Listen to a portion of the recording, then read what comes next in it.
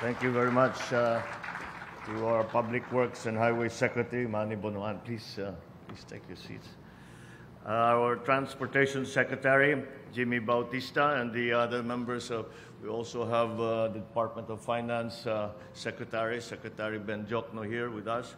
The, of course, our partner in this extremely important project, the Metro Pacific Tollways Corporation Chairman, Manny V. Pangilinan, the North Luzon Expressway Corporation President, Luigi Bautista, the, uh, my fellow workers in government, andito yata, nan- nandito ang ating mga representante ng LGU, and I see some of the uh, uh, local uh, government officials from the other cities uh, who have come to witness the opening of uh, this uh, extremely important connector.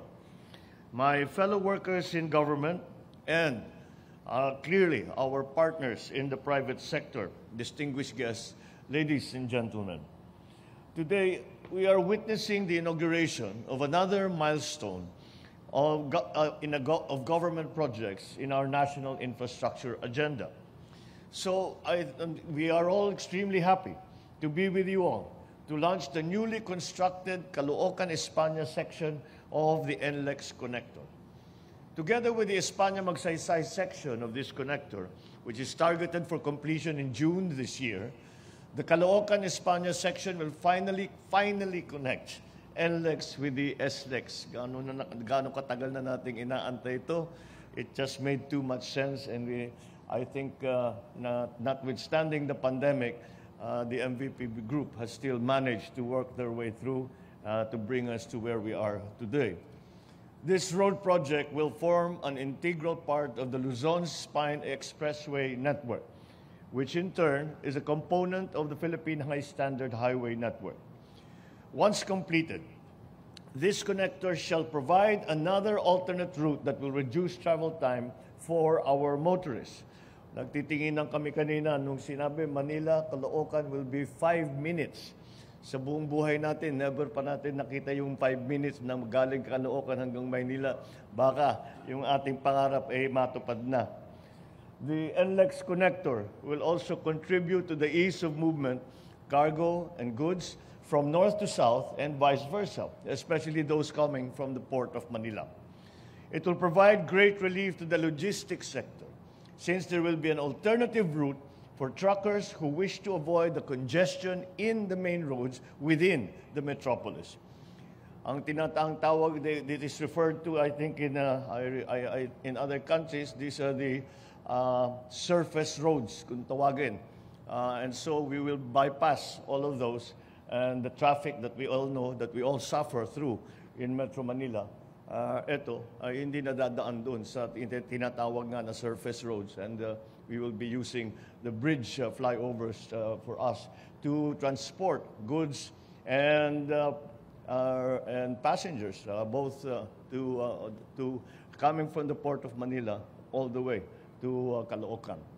This is indeed another achievement and undoubtedly will significantly improve the mobility of people, of goods, of services, not only within Metro Manila, but also in its, within its environs.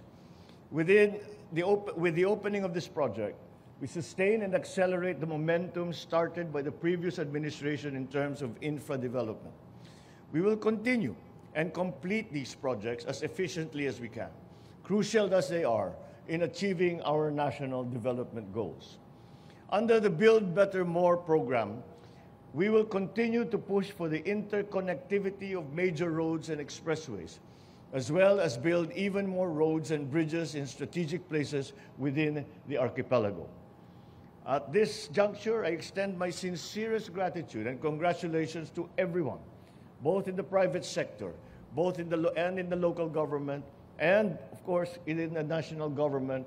Uh, to them, I say my congratulations for having made this all possible. Thank you to the NLEX Corporation, the Metro Pacific Tollways Corporation for completing this part of this project. We certainly need to recognize as well your continued efforts in improving our country's infrastructure system, such as the proposals for the Candaba Viaduct renewal and expansion, the Traffic Mobility Program, and the Urban Ring Road. Remain please, remain please steadfast in your desire to assist and to collaborate with government in improving the infrastructure landscape of the country. I would also like to acknowledge the efforts of our officials and employees in the DOTR and the DPWH and all its attached agencies who have played a very important and crucial role in the success of this project. Let us keep up the good work. We have a ways to go, but we have made some good starts. We will let us continue our service to the public with integrity, with accountability, and with professionalism. It is true that synergy between the government and the private sector will always be a defining factor in the overall development of the country.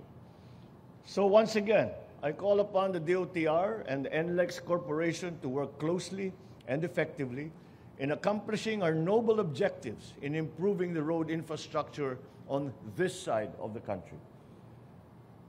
Try very hard, as we all do, to stay within the target time frame.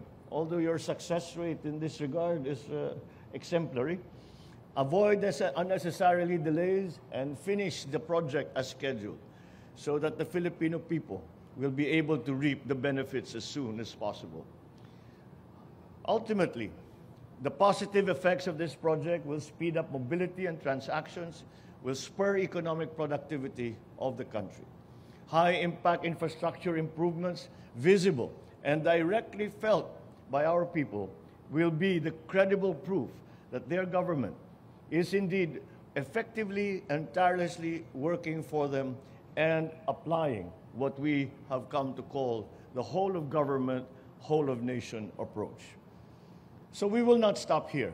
We will continue to develop a highly interconnected road network that will facilitate our country's rapid, inclusive, and sustained economic growth. Once again, congratulations to all who have made this project possible. Maraming salamat sa inyong lahat at magandang umaga po sa inyong lahat.